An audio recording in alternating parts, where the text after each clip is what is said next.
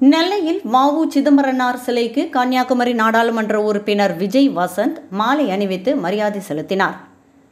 கப்பலோட்டிய தமிழன் செக்கெழுத்த செம்மல் வாவு சிதம்பரனார் அவர்களுடைய நூற்றி ஐம்பதாவது பிறந்த நாளை முன்னிட்டு திருநெல்வேலி மாநகர் மாவட்ட காங்கிரஸ் கமிட்டி சார்பில் திருநெல்வேலி மாநகராட்சி அலுவலகம் எதிரே இருக்கின்ற மணிமண்டபத்தில் வாவு சிதம்பரனாரின் திருவுருவ சிலைக்கு கன்னியாகுமரி நாடாளுமன்ற உறுப்பினர் விஜய் வசந்த் தலைமையில் காங்கிரஸ் கட்சி சார்பில் மாலை அணிவித்து மரியாதை செலுத்தப்பட்டது. இந்நிகழ்ச்சியில் முன்னாள் மத்திய அமைச்சர் ஆர். தனுஷ்கோடி ஆதித்தன் மாநகர் மாவட்ட காங்கிரஸ் கமிட்டி தலைவர் சங்கர பாண்டியன் நிர்வாகிகள் முரளி காவேரி உட்பட பலர் கலந்து கொண்டார்கள்.